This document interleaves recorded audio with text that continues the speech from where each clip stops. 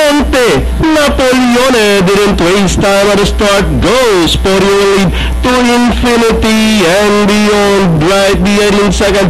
Moving on the outside. Wildstorm. Then followed by Westerner. Then followed by She's Gorgeous. Water Alert. And Vice Edward.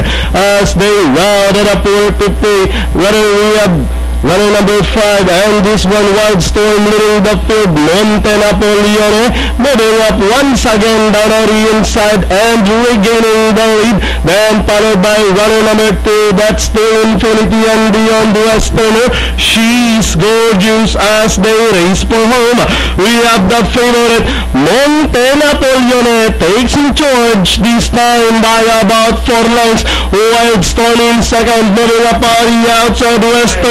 She's also moving up, and of stretch they come. Monte Napoleone, this time followed now by She's gorgeous from the outside, and finally Monte Napoleone, She's gorgeous, close with number three Westerner, then comes number five Wildstorm.